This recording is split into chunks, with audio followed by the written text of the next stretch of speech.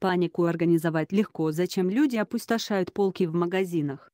Панику организовать легко, зачем люди опустошают полки в магазинах 1554 16 марта 2020 года, обновлено, 1614 16 марта 2020 года, РИА Новости, Виталий Тимкив, покупательница в торговом зале магазина «Магнит» в Краснодаре.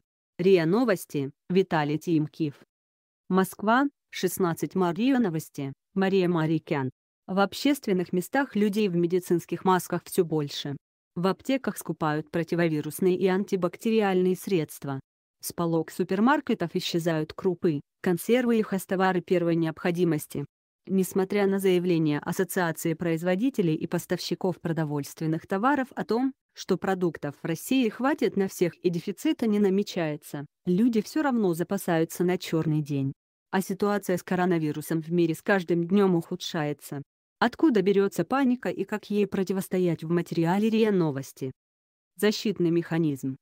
Мозг человека устроен так, что новость о какой-либо опасности воспринимается эмоционально. И не случайно, предкам это, по сути, обеспечивало выживаемость. Поэтому вполне естественно, что, когда со всех сторон твердят об угрозе жизни и здоровью, включается инстинкт самосохранения, объясняет доктор психологических наук, научный сотрудник Центра сердечно-сосудистой хирургии имени Бакулева Мария Киселева. Любые негативные сообщения люди начинают пересчитывать, акцентируют на этом больше внимания. Включается защитный механизм. Человека переполняет тревога, которую он не в состоянии контролировать. 10 марта, 8 часов, Куда исчезли медицинские маски и защитят ли они от коронавируса? Она также отмечает, что острее люди реагируют даже не на возможную угрозу здоровью, а на неопределенность. Никто точно не знает, когда и чем все закончится. Люди понимают, что вероятность встретиться с вирусом минимальна. Но от этого спокойнее не становятся. Поэтому, чтобы не поддаваться панике, необходимо понять условия игры. То есть человеку необходимо принять ситуацию, осознать, что с ней работают профессионалы, все, что нам остается, выполнять рекомендации врачей, ограничить контакты, тщательнее мыть руки, соблюдать личную гигиену. Деньги на ветер. Перед тем, как идете в магазин, составьте список действительно нужных продуктов. Не стоит скупать все подряд. Особенно то, что вы в жизни никогда не ели, или то, чем не пользовались, рекомендует доктор психологических наук. Если станет легче от того, что вы запасетесь непортящимися товарами, купите. Но брать то, что может быстро испортиться, не стоит.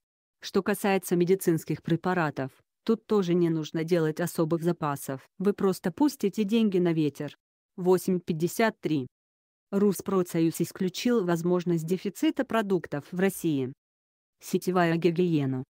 В свою очередь, врач-психотерапевт высшей категории и психолог Александр Федорович, комментируя начавшуюся панику, акцентировал внимание на том, что следует внимательнее относиться к тому, что появляется в сети, которые уже заполонили фейки, и выбирать достоверный источник информации. Иными словами, соблюдать сетевую гигиену. Проблема в том, что те, кто склонны к тревожным настроениям, не могут мыслить рационально. Все, что они видят и читают, принимают за чистую монету, уточняет врач. Это нельзя назвать панической атакой. Ведь люди отчасти стали жертвами маркетологов готовы скупать маски втридорога. Сложно давать какие-то рекомендации для слишком тревожных это скорее объект работы психотерапевта. Впрочем, он настоятельно советует не распространять панические настроения. Если вы уверены, что, закупившись всем, чем только можно, спасетесь пусть будет так. Но не нужно требовать, чтобы так же вели себя люди из вашего близкого окружения. Панику очень легко организовать, а вот избавиться от нее совсем непросто.